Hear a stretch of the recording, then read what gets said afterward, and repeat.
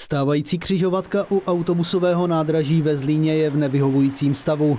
Z vedlejších silnic se na hlavní tah dostává velmi komplikovaně, proto se město rozhodlo vybudovat na tomto místě kruhový objezd.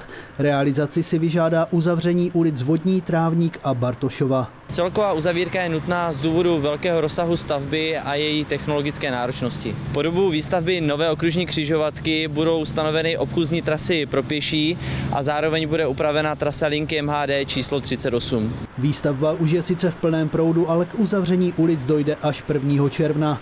Průjezd stavbou bude umožněn pouze autobusům veřejné dopravy a vozidlům integrovaného záchranného systému.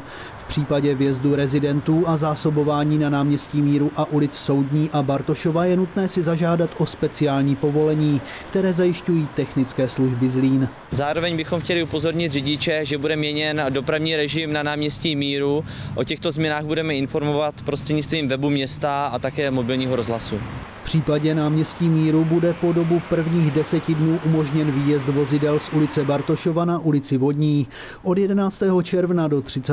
září bude platit obousměrný vjezd i výjezd přes ulici Rašínova.